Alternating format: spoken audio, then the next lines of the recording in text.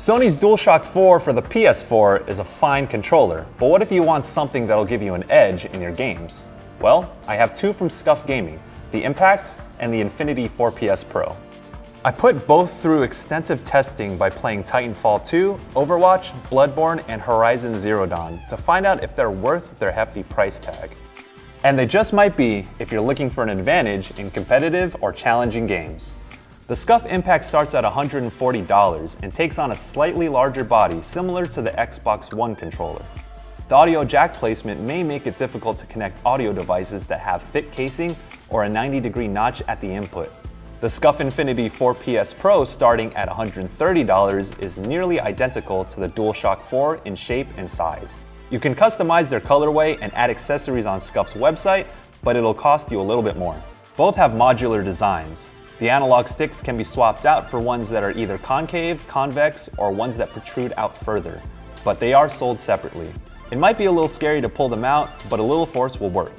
The analog sticks themselves feel much smoother and less resistant to move around than the DualShock 4.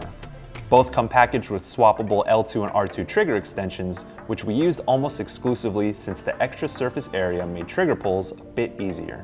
The controllers feature grippy surfaces on the handles and thumbsticks, which is one clear advantage. Face buttons, L1, R1, and the D-pad on both felt very similar to the DualShock 4. Using the tool package with both controllers, you can adjust the trigger stops behind L2 and R2 if you prefer a shorter throw.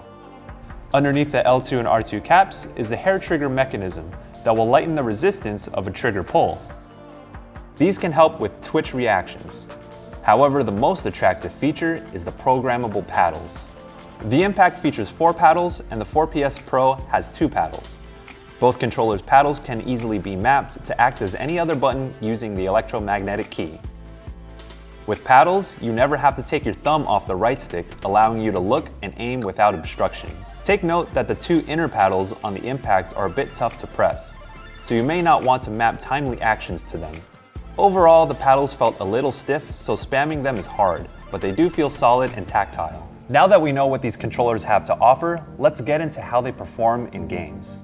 In Titanfall 2, you're constantly jumping, strafing, and wall running. Its fast pace and quick movement means you best keep your head on a swivel. However, that can be difficult with the default controls where jumping is mapped to the X button. By using one of the paddles to act as X, Changing direction while jumping and connecting wall runs was indisputably easier and extremely beneficial. We also never had to stop moving the camera to reload. The smoother, nimble analog sticks also improved granular movements for precise aiming. In Overwatch, a game with unique character ability sets, I programmed the jump action and ultimate ability to the paddles. Bunny hopping while in a firefight was very advantageous floating with my jump jets as Pharah while being able to shoot or use my concussive blast simultaneously gave me an upper hand. I could also launch a barrage without having to take my thumb off the right stick, which also proved useful for pulling off a Dragon Strike as Hanzo or locking targets for High Noon as McCree. Overwatch does let you fully customize your controls, but not having to make any compromises with other actions was useful. The features of these controllers were a little less important in Bloodborne since the game relies more on timing and battle tactics.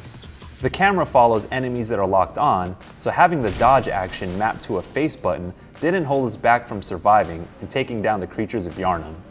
We did find it helpful to have the consumable and items action designated to a paddle in case we had to dodge at a moment's notice. While Horizon Zero Dawn isn't a competitive shooter or as unforgiving as Bloodborne, Moving the camera and simultaneously dodging in the heat of battle was one gripe I had with the game's controls.